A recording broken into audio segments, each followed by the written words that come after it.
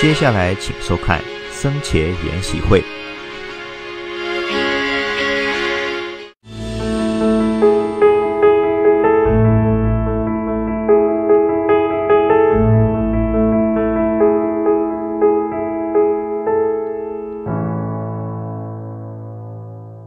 上从下慈长老啊，那这位法师啊，诸位同学啊，大家下午好。我今天这个题目叫做呃福德资粮哈。首先要解释一下什么叫做资粮啊？那资粮就是呃资金加粮食哈。那我用的资料是印顺导师《佛在人间》啊，他有这么一句话哈。那他解释什么叫做资粮哈？那像我们旅行的时候，在还没有开始旅行之前啊，我们必须先准备这个资具。粮食啊，甚至舟车啊，呃，比如说就是交通工具啊，那这一些都算是资粮啊。那我们发心学佛，那也一定要有资粮啊，那不然的话是不会成就的啊。那资粮的白话文叫做什么？如果要用台语来讲，什么叫做资粮啊？呃，你们讲的好文言啊，哈，我的讲法是叫做。叫做本钱啦，哦，这样子比较呃比较白话哈，因为我讲课我比较喜欢用白话文哈，因为我觉得我们呃这个呃佛典呢这个呃博大精深哈，那有时候这个名相太多的话，现代人不容易了解哈，所以呃我一向就是就是努力的方向就是希望嗯把它用白话一点来说明哈。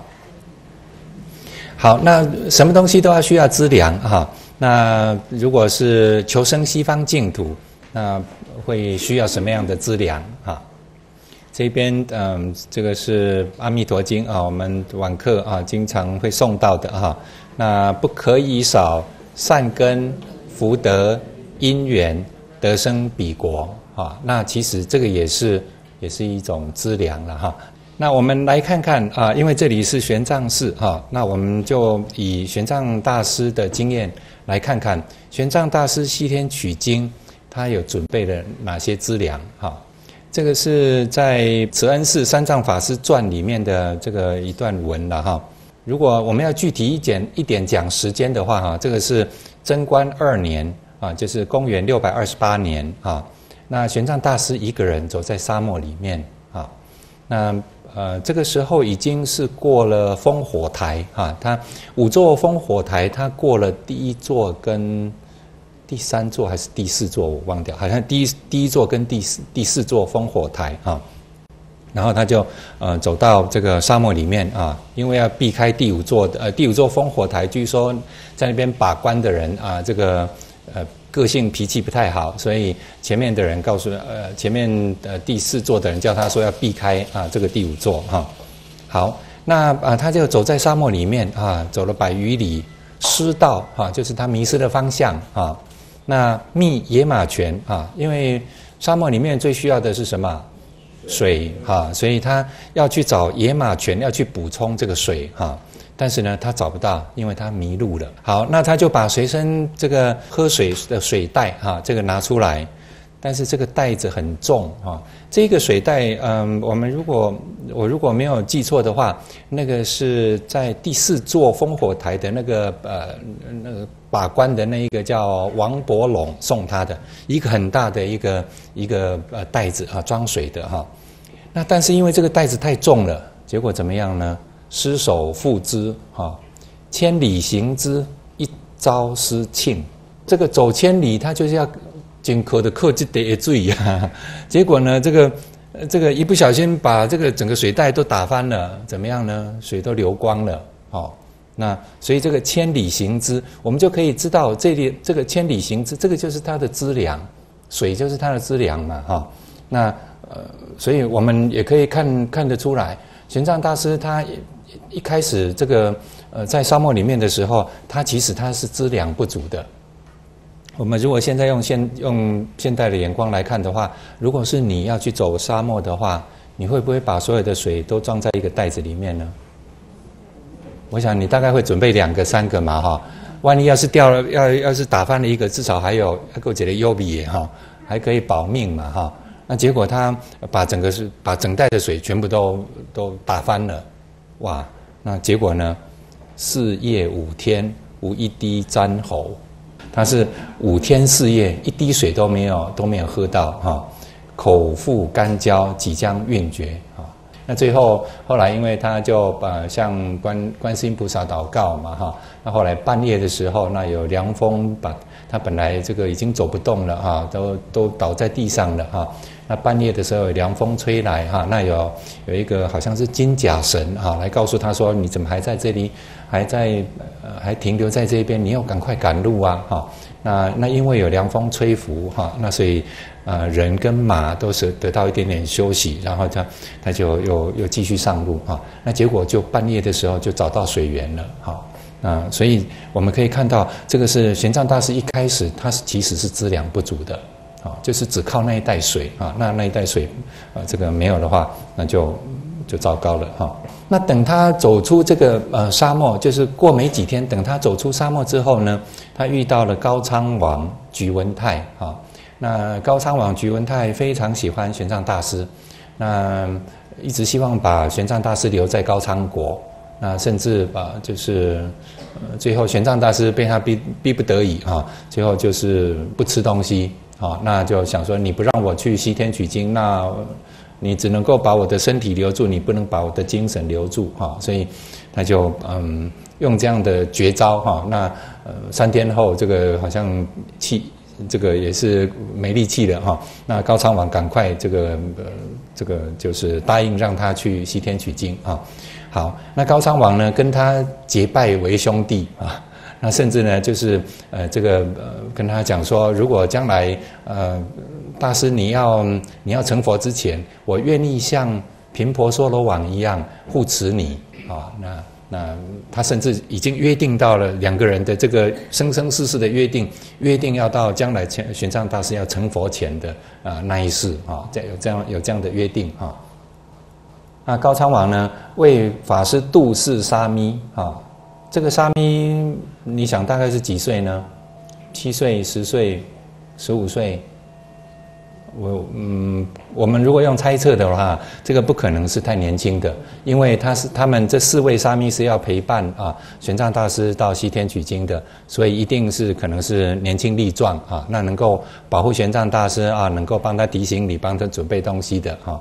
好，那这个以充己事，就是当他的侍者哈。制法服三十具啊，那准备很多衣服啊，因为这个一路上还要再经过雪山啊，那这个会很冷啊。稀土多寒，又造面衣手衣。什么叫做面衣呢？面具。面具哦，嗯，可能那，但是我觉得也有可能是各位脸上现在戴的这个东西，是不是？有可能是口罩了哈，至少遮着脸哈，因为那个非常冷的天气哈，所以脸上需要有一些保护嘛哈。那我想最少应该是口罩哈，那或者是可以蒙。蒙面，但是呢，眼睛不能看不到嘛，哈，不然他怎么走路哈？所以我觉得比较像是口罩哈。那手衣，什么是手衣？手套啊，这个就比较容易以此类推哈。靴袜等各式束饰哈，所以就是帮他设想的非常周到。他这一路去所需要用到的东西，高昌王全部帮他都打点好了啊。哇，那更厉害的还在后面啊。黄金一百两，银钱三万，零及绢等五百匹。够多少年用呢？二十年去跟回来，二十年够用。所以你可以看到，这个他这个资粮在这边，他才是算是正式的补充到了哈。不然他玄奘大师一个人啊，这个西出阳关无故人啊，这个一个人走在沙漠里面的时候，他身上是第一个他是一个人，第二个他是没多的没没人呃没多少东西哈。那所以他的资具他的资粮其实一开始是准备不够的哈。所以历史历史学家啊，汤用彤他就讲说，玄奘大师到西天取经能够成功，这是绝对的关键啊。就是说他遇到高昌王啊，这个大护法帮他准备了这么多的资粮，他才有办法去了再回来。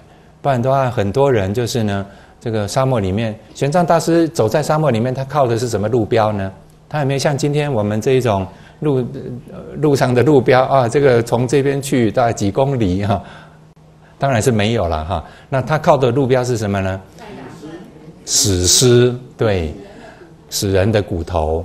这一很多人走着走着走着走不到了，就死在半路上。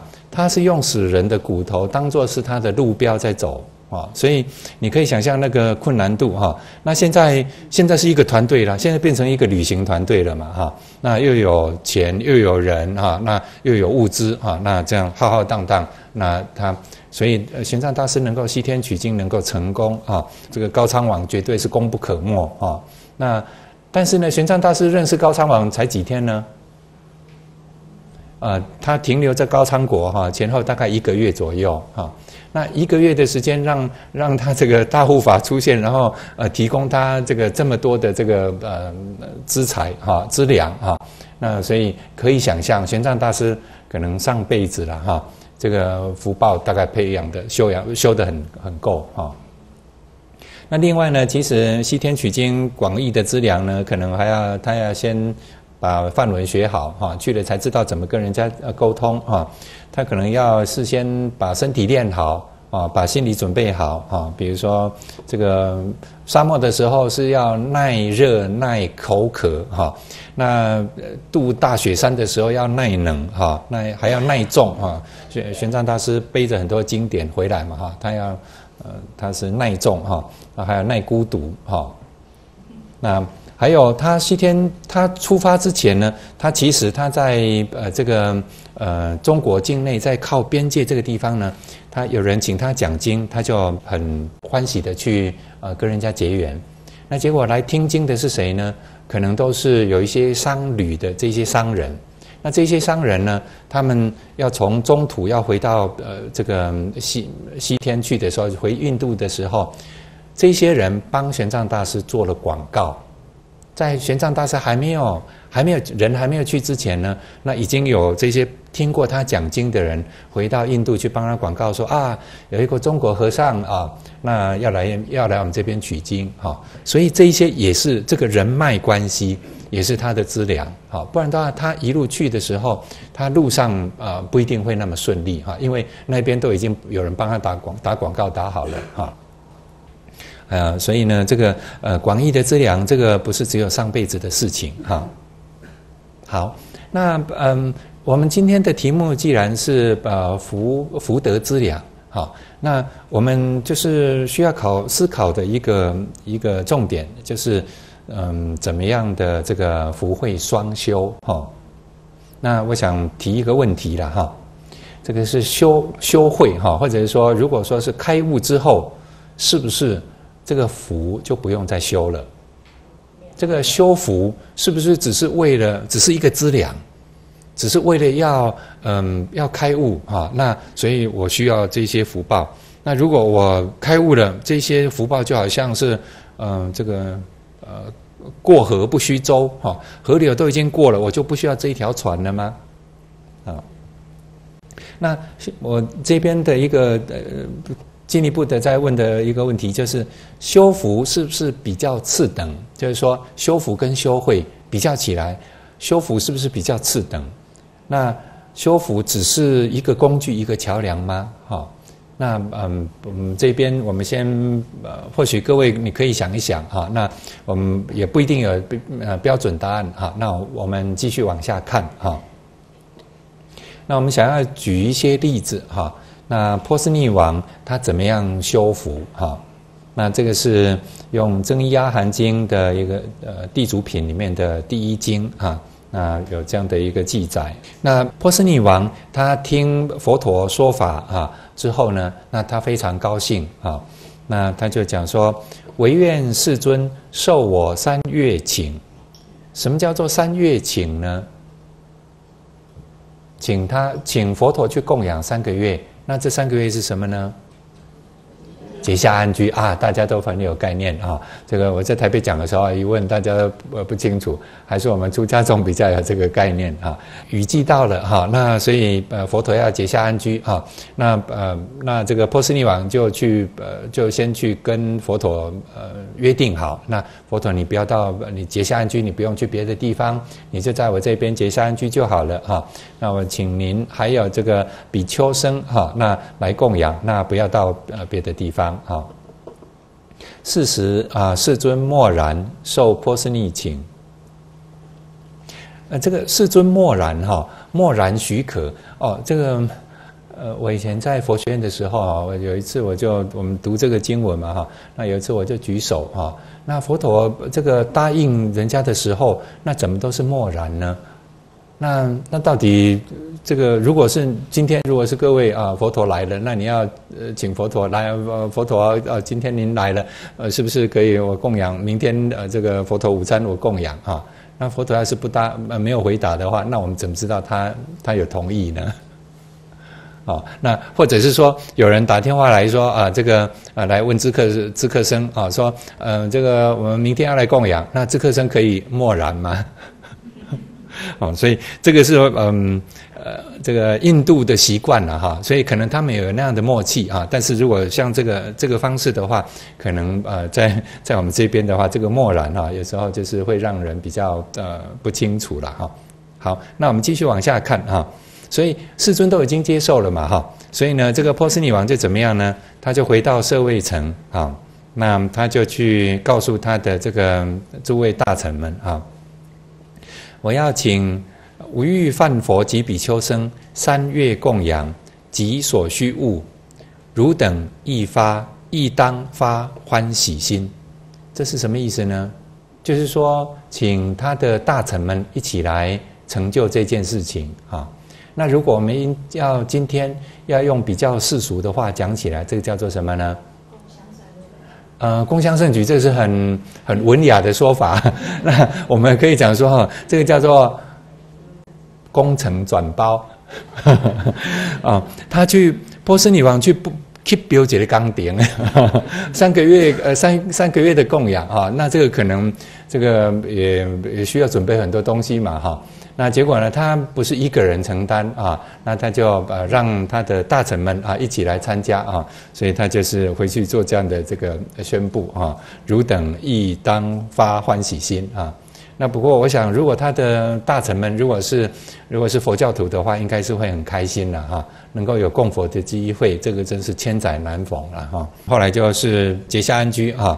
那波斯匿王跟他的这个工人哈，这种种他一家老小哈，那守制行时供给所需哈，他们就亲自啊去啊这个供养这个食物给佛陀跟呃这个僧团啊。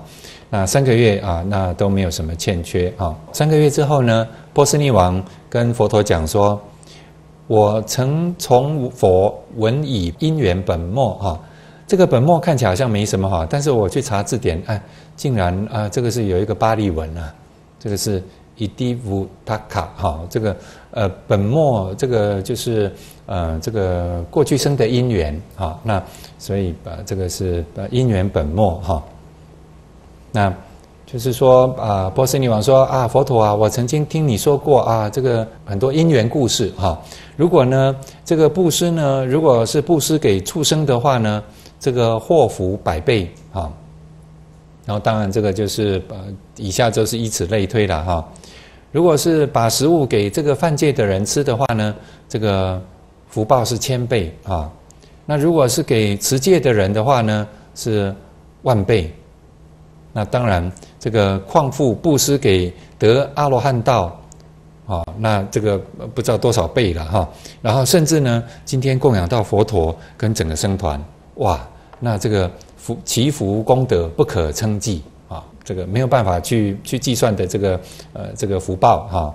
所以呢，波斯尼王就讲了这一句话：我今所做功德，今日已办。这个要是这个就是说我这一辈子要做的功德呢。这一次我怎么样呢？我弹起来呀！我要啊，就是呃，就反正就意思是得意洋洋了哈。我今天已经供养到佛陀了啊，我这个心满意足了，我这辈子功德应该够了哈。那这个就好像印度版的梁武帝啊。那梁武帝呢，他见见了这个呃这个达摩达摩祖师啊，那也问他说啊，这个我做了很多供养那那我这个功德啊有多少功德哈？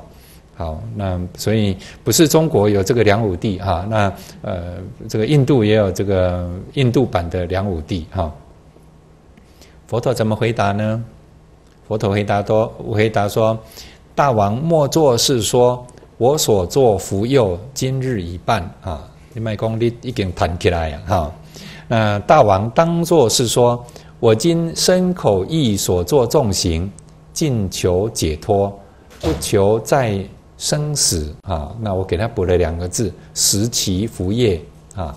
那如果你是这样子，你是这样的发愿的话呢，那便于生死长夜。”安稳无量，意思是说，我想佛陀这个意思哈，应该是教他说，你虽然做了这么大的供养呢，但是你那个你这个功德回向的这个地方呢，你不要回向错，不不要回向错误了哈。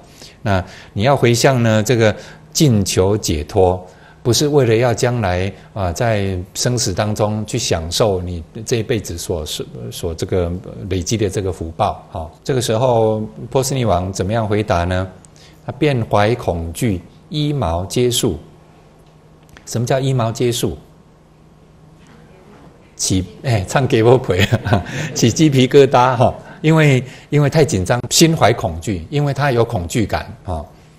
哎，那为什么佛陀讲这句波斯尼王要有恐惧感呢？好，那那我们继续往下看啊。那甚至呢，悲泣交集，以手问泪哈，一边擦眼泪哈，那一边顶礼佛陀啊，一边的忏悔哈，自成过过状，就是自在那边忏悔啊。唯愿世尊受我悔过哈，啊，五体投地，改以往之失啊，更不照此言教。唯愿世尊受我悔过。我们想要问的是，才波斯匿王也没讲什么什么太好像太错误的事情嘛哈，那为什么需要这么这么样的紧张？那呃这么样的这么样的忏悔呢？嗯，我用印顺导师成佛之道里面的一句话了哈，那就是不论布施的福报怎样广大哈，都不如持戒。如果你没有持戒的话，好，那你布施非常大哈。那将来呢，连人生都不可得，只能够在旁生，旁生是什么呢？呃，畜生道哈，或者是恶鬼道，或者是阿修罗道当中呢，去享吃福啊，前途万分危险啊。所以意思是说，啊，如果呃波斯匿王他只有布施，他没有持戒的话，那将来这个前途万分危险。啊，呃，因为他他没有想到更高的一个目标嘛，哈，他没有想到解脱嘛，哈，那所以他的这个将来布施的这个福报，很可能只是在三恶道当中享吃福。什么叫做享吃福啊？就是就是毛小孩嘛，哈，但是这个毛小孩还不是别的地方，呃，就是一般一般路上看到的毛小孩，可能是住在地堡的毛小孩。哎，地堡地堡，听说一一个房子好像要要。一来一去了哈，那你可以想象住在那住在住在那样的地方的毛小孩，上辈子修的福报，呃，恐怕都是比很多很多人还要大啊。那但是可能就是呃，像这样子的一个，如果他没有持戒的话，那他那样的福报就只能够在这个旁生当中去享赐福啊。好，那我们再看中阿含的一百七十经啊，这一经叫做鹦鹉经啊。那佛陀去舍卫城乞食哈，那呃他到这个有一个人叫做鹦鹉摩那都提子哈，这个名字很长啊。那其实他的名字应该是鹦鹉，鹦鹉摩那就是年轻人，然后都提子就是都提的儿子。啊，所以呃，古时候的人或者印度人，他们的名字呢，就是呃，就比较复杂，结构比较复杂一点啊。好，那佛陀去的时候呢，这个鹦鹉摩那啊，摩这个年轻人啊，摩那是年轻人，所以啊，这个年轻人鹦鹉呢，他出去啊，那不在家里面，但是他们家有一只白狗啊，那在大床大床上哈，那这个大床呢，其实是也不一定是我们概念当中的床了哈。啊，这个佛经里面的床座，床座哈，那其实它是椅子的意的意思哈。所以这只狗呢，坐在一个大椅大椅子上面，那它吃它的食物，它的食物装在什么呢？装在金盘，用黄金的盘子在吃。这只狗了哈，吃它的狗食是在黄金的盘子里面吃啊。那这个狗看到佛来了哈，那就汪汪了哈，那。真是喝多大，竟敢竟敢佛来了，他竟敢这个狗竟敢竟然敢对佛陀不礼貌啊！那佛陀就告诉这个白狗啊，你不应该这样子啊，你是从底自废。所以这一经哈，这个四个字重，这个是一个重点哈。什么叫做底呢？废我们当然知道嘛哈。那底，如果我们用白话来讲，就是诽谤的意思。那那我们继续往下看啊，为什么是是这样的一个情况啊？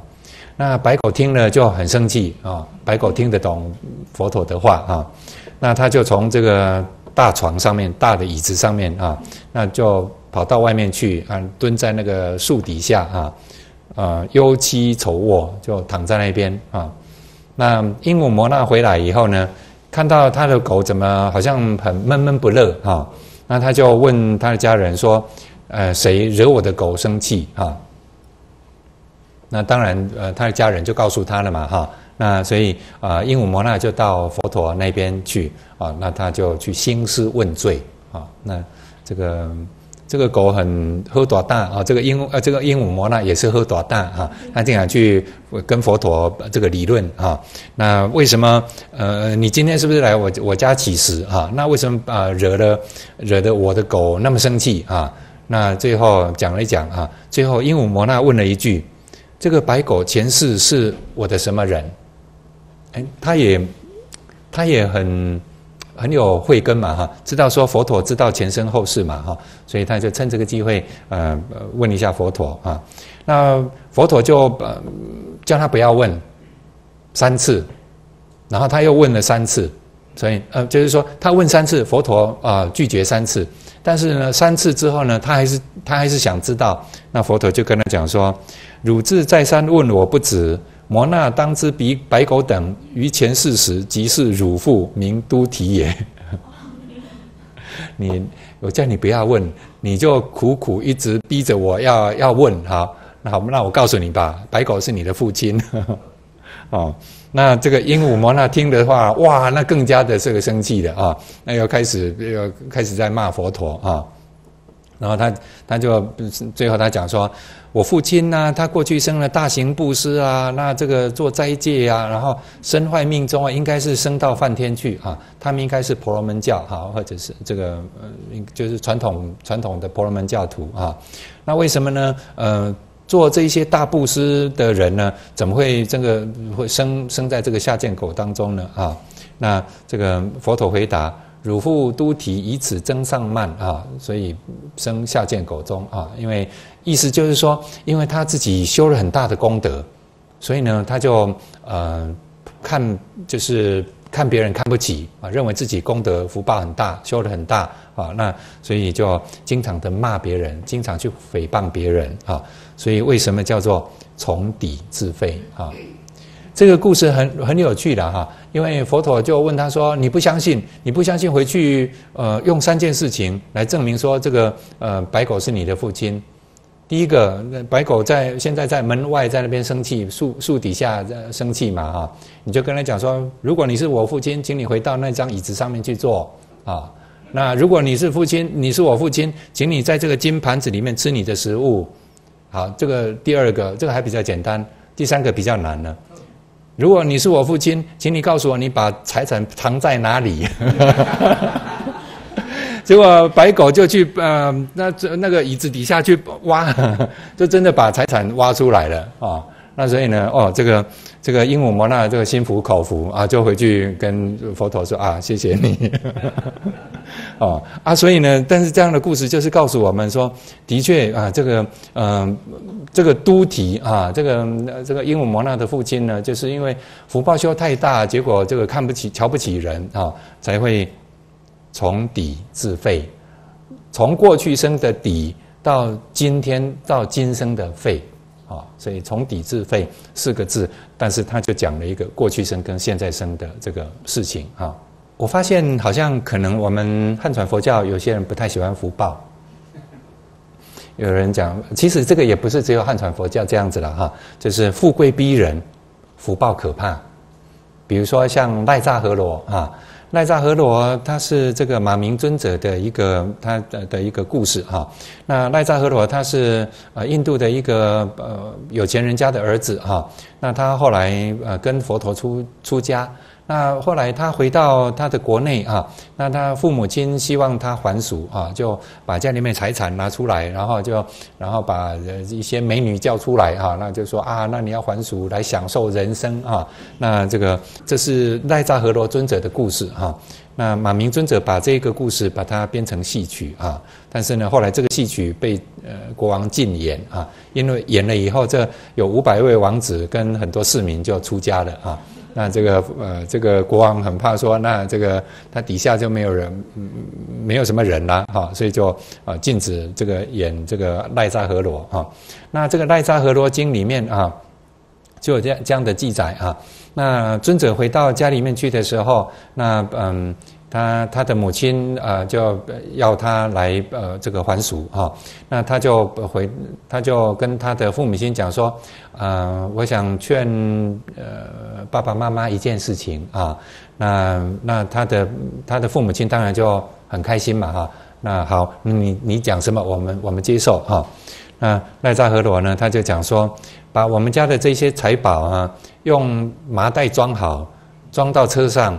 然后再到恒河水啊，看哪里水比较深呢，就把往里面丢啊。那为什么呢？那这个财我们家财富这么多呢，这个令人很担忧哈。恐怕这个县官盗贼水火或恐怨家有敌人或者要来抢啊，所以这样子会比较平安啊。那不然家里面这么多钱太危险了啊。所以这个就是富贵逼人啊，哈，财富可怕哈。那中国版的有庞居士啊，据说也有类似这样的故事啊。那大家如果有兴趣的话，可以看啊。那应顺导师在华语集里面这样提到啊，求福报应该是没有满足的时候。如果有福报的话，那生活没有问题，那都跟众生有缘啊，别人愿意帮助他。有福报的人，不论是自修或者是要度人，都是很容易的事哈。好，那如果没有福报呢？他就必须要为生活苦恼啊，那他也遇不到善知识，那不但没法没有办法度众生，呃，自己的修行都不容易啊，那甚至想要开悟，没有福报的话是开不了悟的啊。所以应顺导师说，大乘法是尊重福德的啊。我们来看应顺导师怎么样修福报啊。道元长老啊，曾经问应顺导师啊。你是重学问重智慧，为什么你盖一个道场要做要叫做福严精舍啊？那应顺导师的回答：这个福缘福德因缘不足，智慧也难得成就啊。那他说他研究佛法成就有限，就是因为他的福报不够。那道元长老可能在座很多人都呃知道哈。那道元长老这个应顺导师称呼他叫做。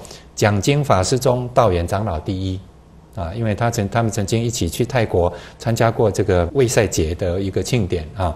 那也是英顺导师六十几岁的时候，本来生了一场大病啊，那呃去动动手术，那结果呢，这个呃手术之后呢，嗯，就是一直没有好转啊。那那最后因他就是已经都开始遗嘱都写好了啊，就不准备医了啊，就准备就这样子要就是要舍报了啊。结果呢，是道远长老来来病房来劝应顺导师说：“再再动一次刀，哦，那那因为道远长老的口才相当好，哦，那说服的让应顺导师不得不接受，所以他才接受呃再动第二次刀。那也因为这样子，他后来才活到才能活到一百岁，不然的话，那六十几岁的时候，那就呃几乎就是要要舍报了哈。那。你同意应顺导师说他自己没有福报吗？啊，有人说他一来台湾，然后就是在善导寺当住持，然后又盖了福严精舍，然后又在台北又有慧日讲堂，啊，好像说他福报大的不得了哈。那我们来看他自己怎么说。他说他出生于农村，家庭不富裕，啊，所以这个第一个没有福报啊，因为家里面呃不富裕。第二个，他的学业呢？他是高等小学毕业，高等小学是我们现在大概是什么程度呢？对，大概国中、初中的程度哈。那因为家里面经济所限啊，他就没有办法继续读书了啊。好，那后来出家了，他去闽南佛学院去念书。那去的时候呢是二月，结果呢读了几个月，读了读了三个月，到五月就病倒了，啊，从此就没有再受佛学院的正式教育。所以这个又是没有福报啊，那不然的话，这个佛学院只能够读三个月啊。然后更重要的原因就是他一生多病啊，肠胃的消化吸收不良啊，甚至一再的虚脱休克啊，自己以为只是衰弱，没想到是有严重的肺结核啊。那好，这是总结啊，求学不能长期的接受教育，自修又常被病魔所困。这不不都是没有福报的证明吗？啊，所以这是他他说呃他的情况，但是欠缺福报怎么办呢？他说福缘不足，无可奈何，但是只有凭着坚定的意愿啊，不知量自不自量力的勉力而行啊。呃，我们在佛学院的时候也听到师长这样讲哈，他说如果我们很多出家众喜欢去这个国外去禅修去。东南亚、缅甸啊，去禅修啊。那如果修不上去的时候呢？那怎么样？就不要在那边撑了，赶快回来培养福报啊！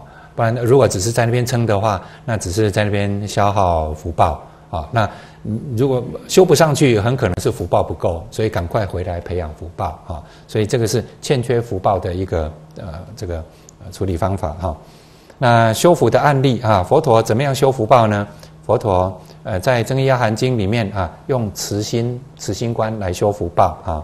那佛陀告诉诸比丘：“汝等莫畏福报。”这个比丘，你们不要怕福报啊，你们要怕什么呢？怕没有福报哦。所以这个是佛陀在《增一阿含经》里面明确的告诉我们的啊。所以，那他就自己说他自己的经验，他他修福报，他是怎么修呢？七年当中修慈心。慈心观啊，事无量心啊，那那因为这七年的修事无量心，所以后来他升为大梵天王，他升为这个第第四天，他升为转轮圣王啊。那所以他说这个当作福莫倦，当为无福。另外佛陀一个修福报的案例啊，服务病生啊，阿那律尊者啊，眼根败坏啊，那他要缝他的生衣的时候，他怎么样呢？他有没有用天眼通去去穿针引线呢？没有啊，他就用凡常之法缝衣服啊。那但是呢，线穿不过去嘛哈，所以他就这样想啊：诸世间如果想谁想要得阿罗汉的话，那请你来帮我灌针，来帮我穿针啊。那结果呢，谁来帮他穿针呢？佛陀啊。那阿那律尊者就跟佛陀讲说：“我刚刚讲的是说。”世间想要求福报的人，请你来帮我穿针。那为什么是佛陀来了？佛陀已经成佛了，不需要福报了啊。那佛陀回答说：世间求福之人无复过我啊。所以用这一用这段引文，我们来证明说，其实啊，这个福报并不是只是为了要开悟做准备啊。那开悟之后还是一样，照样修福报啊。你同不同意这一句话？同意哈，英顺导师在《华语集》里面讲的啊，小圣人专重智慧啊，所以呢，他他的目标都是要开悟了生死得解脱，所以他们的修行呢，重视戒定慧，但是呢，戒定慧里面你找不到布施这一项，找不到布施这一项，你也可以从三十七道品里面啊，呃，三四二五二五七跟八这三十七道品里面找不到有一个叫做布施啊，所以呢。因为这样子有正的正的阿罗汉国，也不免生活艰苦，或是生病了连药也得不到，所以你还同意这句吗？好，我们继续往下看啊。啊，对了啊，这个所以应顺导师说啊，这个他常听人这样讲啊，但是呢，他觉得事实上不如此啊。那呃，阿罗汉也有没有饭吃的时候，因为他福报不够啊。那比如说。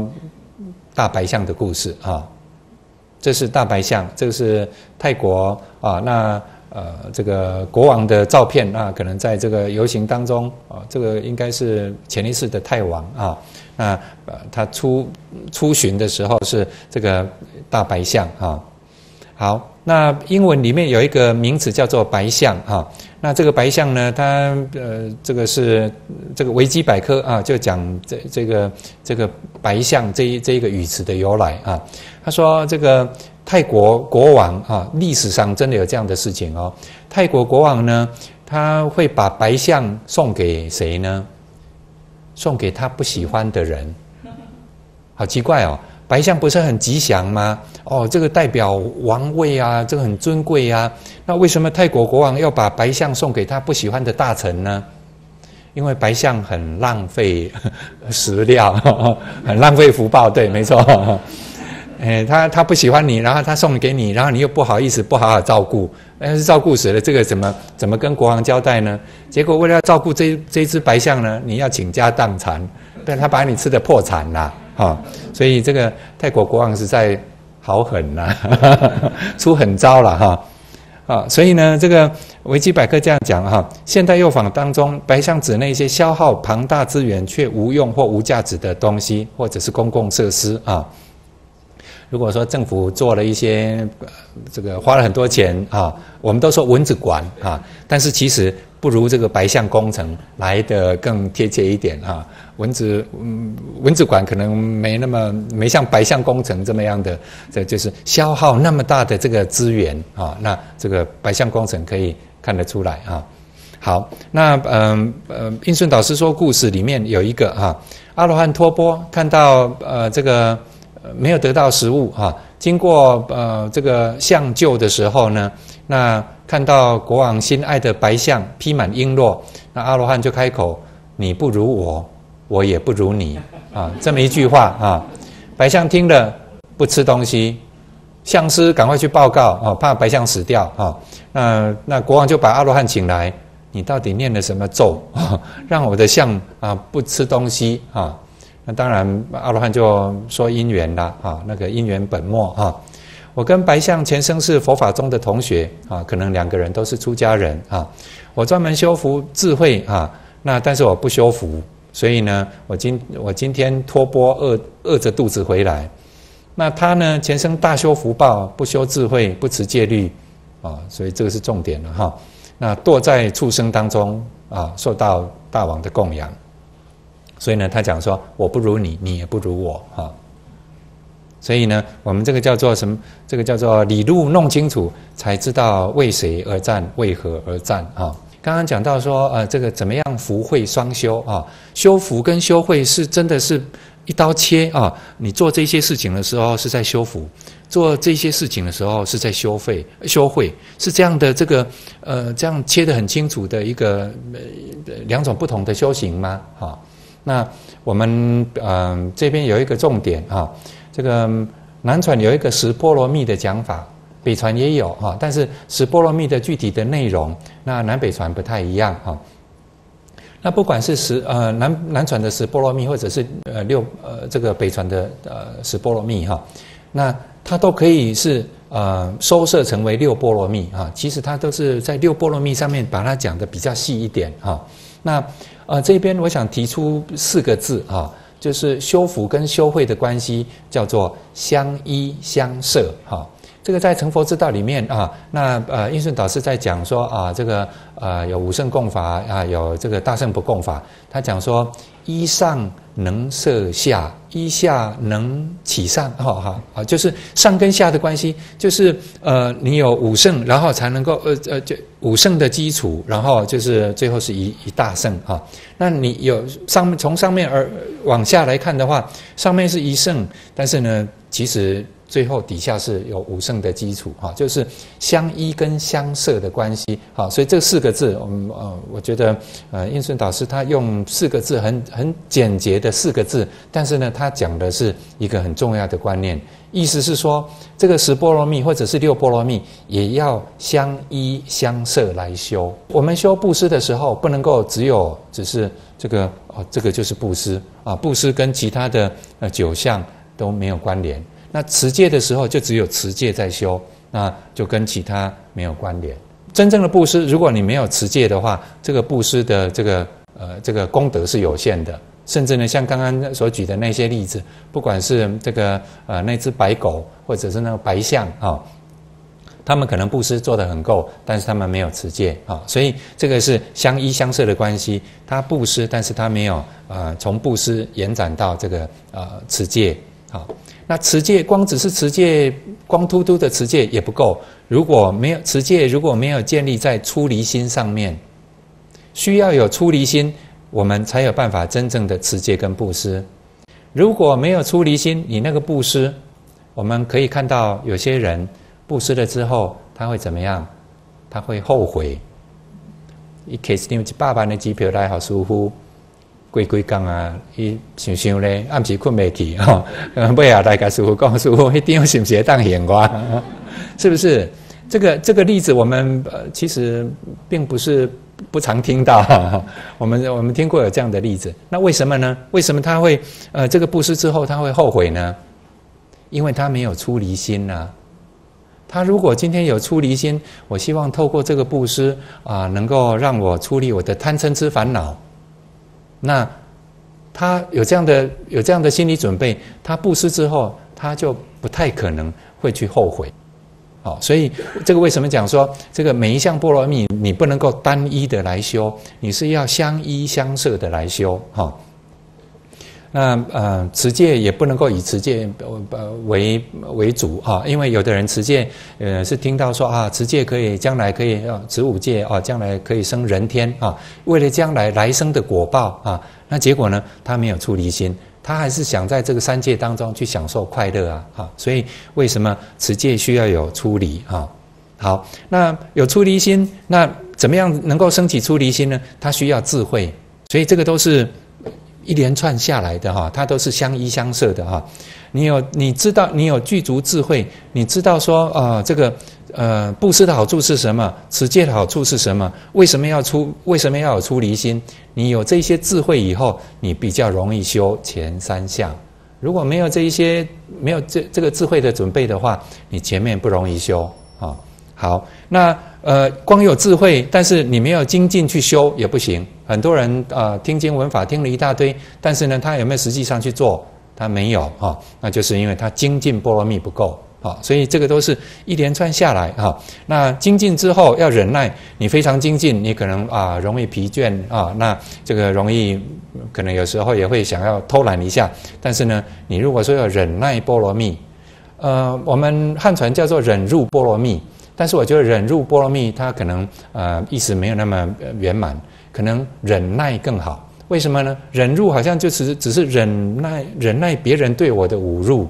但是呢，真正的忍辱是连别人对我的称赞，我也要忍辱。我们接受，我们稍微修行一下，然后别人赞叹我们啊，那你修得好啊，那结果呢，我们怎么样？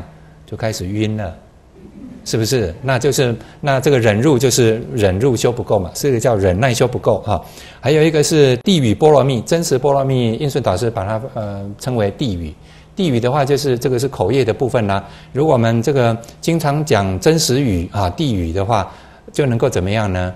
嗯，就是呃，这个每一句话都很灵验。啊，像我们现在在祈雨，我们如果要祈雨的话，我们要请有修地语波罗蜜的人来，他一开口那就下雨啊。那这个就是地语波罗蜜修的够的话，就是有这样的功力啊。好，还要决意波罗蜜，要决心。我们做任何事情都要有这个决心，不然他前面啊布施三天打鱼两天晒网，没有这个决心，这个前面很多呃波罗蜜其实是修不起来的啊。那最后有慈跟舍哈，那这个是四无量心的呃慈心慈无量，那这个舍无量啊，这个舍非也非常重要啊。那很多人啊这个呃修了很多功德，但是呢被人家嗯这个如果。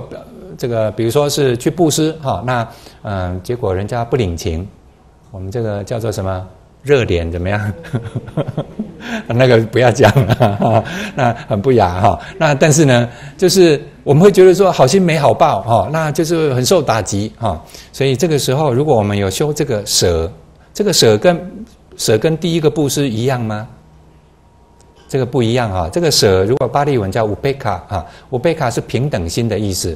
你对我好啊，我也这样子；你对我不好，我还是要，我还是这样子啊，就是平等啊，一视同仁啊。那这个是舍波罗蜜啊，所以呢，这个是呃相依相舍的修持波罗蜜的话，我们就能够这个呃福慧双修啊。那嗯，今天希望能够简单的一个报告啊，那祝福大家这个福慧双修啊，法喜充满啊。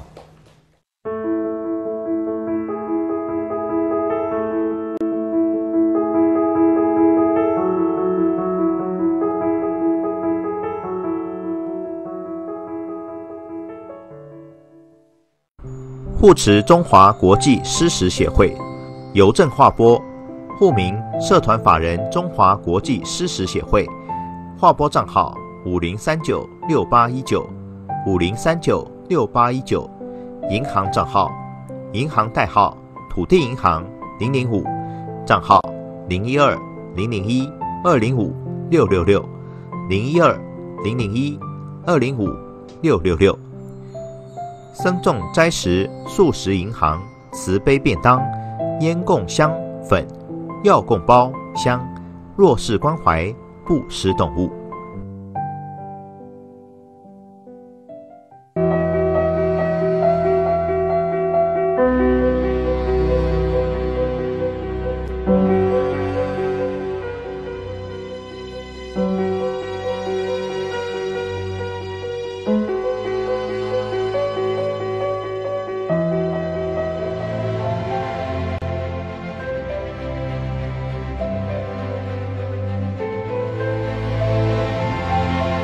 边辽阔的天空，洒下和煦的阳光，缓缓照耀着牡丹，让人感受到最真实的生命能量，得到无限宽广的舒展与延伸。没有亲见我莲师的未来五浊恶世众生，沉沦于无名黑暗时。我的法相将能成为如向导般的明灯。莲花生大士，藏传佛教的奠基者，其以强而有力的悲心和智慧，在迷茫的娑婆世界中，为众生开启正法的光明。生因无名愚痴而烦乱的内心，不断遭受各种内外的违缘与障碍，即使发心修行，也难以具足圆满的功德。然而，借着不断地呼唤、虔诚地祈请，直达天际，终将获得莲师的加倍与垂顾。带领我们无畏的步上菩提大道，便让浩瀚的正法之海永存人间。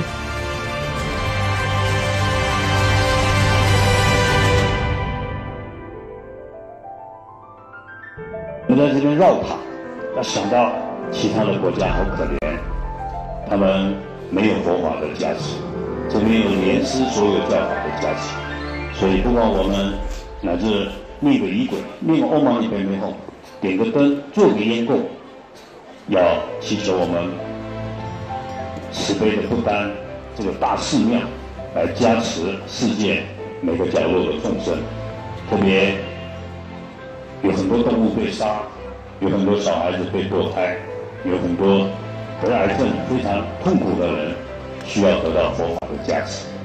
所以，这个世界上所有的金钱合起来，都不如佛陀一句教法、一句咒语的重要。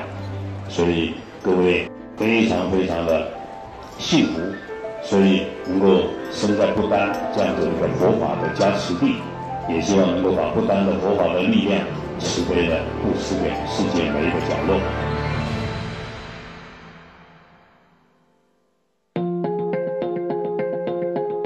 翠绿环绕。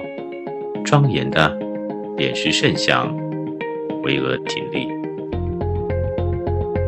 例如不丹人对莲花生大师那无比的敬仰与崇敬。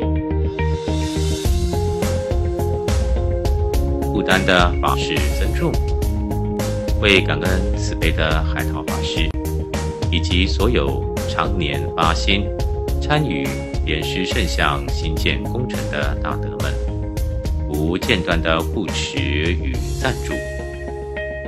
以宁玛派为首的当地僧众，特别联合举办一场祈福感恩法会，并进行庄严的供僧仪式，为坛院们慈悲回向。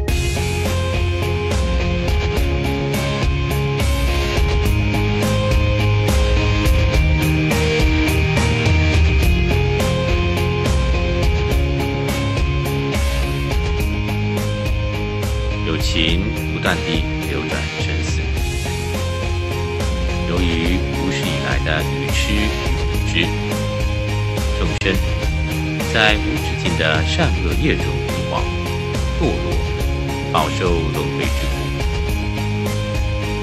带着满满的慈心悲怨，海涛法师率领大众广做施食与慈悲烟供。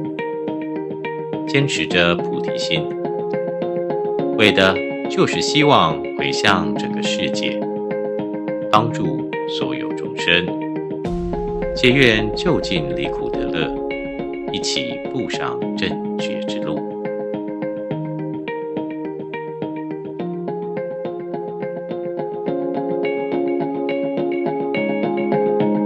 我们大家都心里祈愿。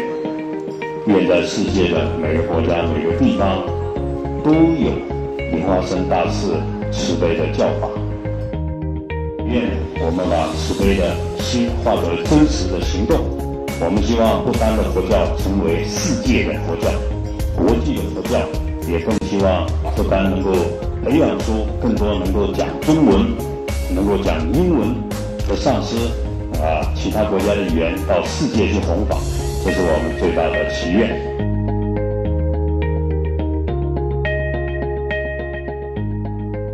那是一股希望，是念念与众生往结善缘的慈悲心愿。菩萨无论到哪个地方，都愿与在地的一切众生结下菩提善缘。愿与每一块土地做最深刻的连结，没有停歇，也不会休止。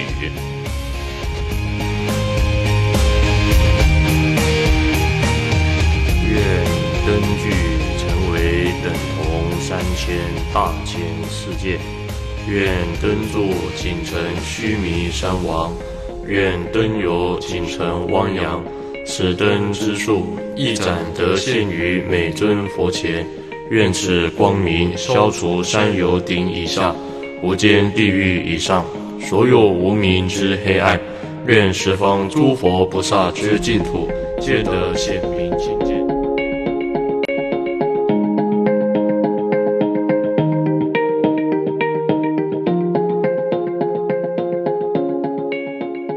高琴。怀着诸佛菩萨的无边大愿、光明，将划破众生内心无明的黑暗，祈愿点亮最深处的般若之光，遍照十方世界，直到永远。